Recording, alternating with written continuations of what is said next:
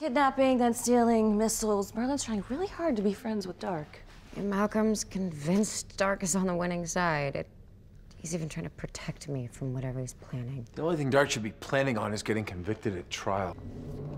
Why does that thing creep me out the way it does? Because it's creepy. There's something that I haven't told you guys. Shocker. Sorry. I've seen this idol before. What? Where? Lian Yu. You really love not talking about that place, don't you?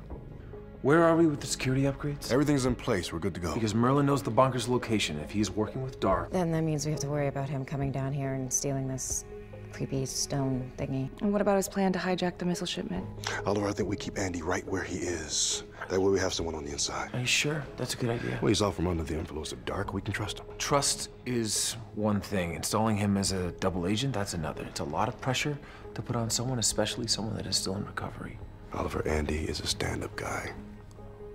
He's got this. And you've got this. You can blow that off. You don't owe Ruve Darhk anything. Tradition, loser attends the winner's acceptance speech. You didn't lose. You pulled out of the race because of her husband. Which I will try not to mention to the press.